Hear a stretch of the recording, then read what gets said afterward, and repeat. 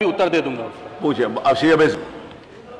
आदरणीय अध्यक्ष जी आपने शराबबंदी जैसे महत्वपूर्ण प्रश्न को हमको पूछने का अवसर दिया इसके लिए आपको बहुत आभारी हूँ। अभी हमसे पूर्व भी स्वामी जी बोल रहे थे उससे माननीय मंत्री जवाब दे रहे थे। ये बहुत ही ज्वलंत मुद्दा है संवेदनशील मुद्दा है। हम जब भी अपने कार्यालयों में बैठते हैं, दो चार महिलाएँ रोज आती हैं, अपना दुखड़ा बताती हैं, अपनी परेशानी बताती हैं, किस तरीके से शराब पीने की वजह से उनके पति, उनके बच्चों के साथ हादसे हो रहे हैं, उनकी जमीनें बिक जा रही हैं। चलिए, माननीय मंत्री ने बताया कि अगर शराब नहीं बेचेंगे तो धनाभाव हो जाएगा। हम ये आपसे पूछना चाहते हैं, माननीय अध्यक्ष जी, आपके माध्यम से कहना चाहते हैं कि आप ही के अनुसार गुजरात एक डेवलप स्टेट है। बिहार में भी आप भी जब सरकार शराब बंद हुई तो आपने सरकार शराब बंद कराई। तो अब आपकी डबल इंजन की सरकार है, इतना डेवलप स्टेट है, तब भी आपको धनाभाव आ रहा है कि उत्तर प्रदेश शराब बंदी नहीं कर रहे हैं। आप बंदी नहीं करना चाहते, कोई बात नहीं।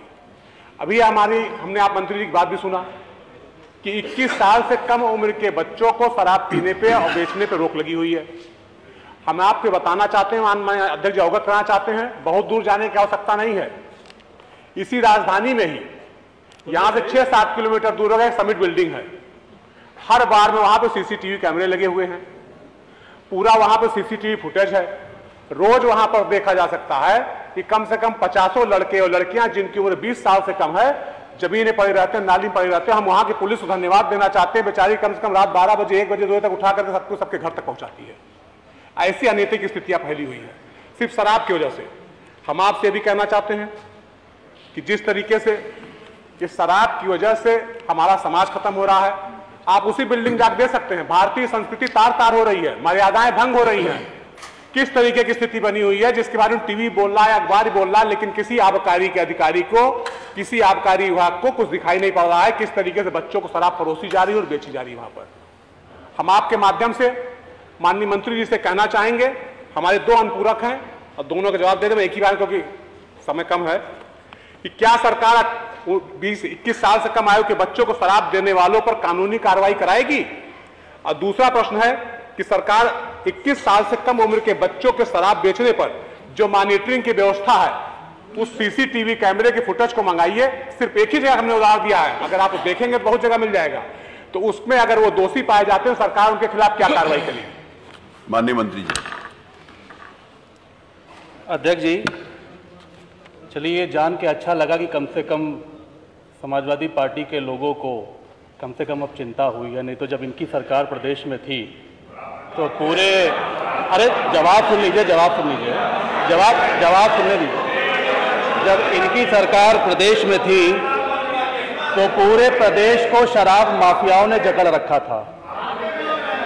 और उस वक्त जिस तरीके की घटनाएँ उत्तर प्रदेश में हुई और यहाँ तक कि मैं ये कहना चाहता हूँ कि जब इनकी सरकार प्रदेश में थी तो जो पॉलिसी एक्साइज की बनती थी वो शराब माफिया बैठ के बनवाते थे और ये लोग उस पॉलिसी को बनाते थे और पूरा प्रदेश पूरा प्रदेश उस वक्त जो मौतें हुई, वो इनके कारण और इनकी पॉलिसीज़ के कारण हुआ। जो प्रश्न मेरे सामने आया है, मैं उस पर जवाब देना चाहता हूँ, फिर अनुपूरक जो आपने पूछा है वो भी बता दूँगा मैं। इन्होंने कहा कि कितनी मौतों मौतों को कैसे रोका जाएगा? मैं आज आपके माध्यम से इस माननीय सदन को, जो उत्तर प्रदेश के 25 करोड़ लोगों का प्रतिनिधित्व करता है, मैं आपको बताना चाहता हूँ कि 2022 में जब आदरणीय योगी जी की दूसरी सरकार उत्तर प्रदेश में बनी, आज पौने दो वर्ष हो चुके हैं सरकार को बने हुए 25 करोड़ की जनसंख्या में एक भी मौत उत्तर प्रदेश में कच्ची और नकली शराब पीने से नहीं हुई। एक भी मौत नहीं हुई है, एक भी घटना ऐसी नहीं हुई। अब जरा जवाब सुनिए जवाब सुनिए। अरे जवाब सुन लो जवाब अब जवाब- जवाब। माननीय सदस्य जवाब सुनिए। जिस तरीके से आबकारी विभाग ने प्रवर्तन की कार्रवाइयों को किया है माफियाओं को बंद करने का काम किया है और आज मैं ये कह सकता हूँ सदन में खड़े होके कि 100 प्रतिशत माफियाओं की कमर तोड़ने का अगर किसी ने काम किया है तो हमारी सरकार ने करने का काम उत्तर प्रदेश में। आपने दो अनुपूरक प्रश्न किए। एक तो 21 वर्ष की आयु से जो आप कहते हैं कि जो नौजवान हैं, अगर उनको शराब शराब परोसी जाएगी तो उस पर क्या कार्रवाई होगी? मैंने अपने पहले जो स्वामी जी ने प्रश्न किया था, मैंने उसमें जवाब में आपको पहले ही बता दिया है कि हमारे अधिनियम में धारा बाईस और धारा तेईस में प्रतिभा- है। और अगर कोई इसका उल्लंघन करेगा तो उसे कड़ी से कड़ी सजा मिलेगी, उसका लाइसेंस भी कैंसिल किया जाएगा और उसको उसको उसको पेनल्टी भी लगेगी। दूसरा चीज़, आपने सीसी फुटेज कैमरे की बात करी तो हमारे हर दुकानों में सीसीटीवी कैमरे लगे हुए हैं और अगर हमें कहीं से भी कोई शिकायत आती है, पहली बात तो ऐसा हो हो नहीं सकता क्योंकि हमारी परिवर्तन की टीमें लगातार घूमती रहती हैं। लेकिन अगर ऐसा होता है, उस कैमरे के, उस जो सीसीटीवी कैमरे हैं, अगर कोई पकड़ में आता है तो उसके खिलाफ कड़ी कार्रवाई विभाग करता है। अभी तक ऐसी कोई घटना प्रदेश में नहीं हुई है।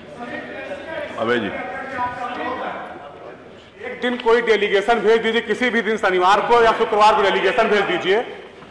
अब विधानसभा से, और जा करके देख ले वहाँ कितनी उम्र के बच्चों को शराब परोसी जा रही है, पिलाई जा रही है। सिर्फ़ एक ही जगह भेज दे। हाँ प्रश्न संख्या आठ, डॉक्टर संग्राम सिंह यादव।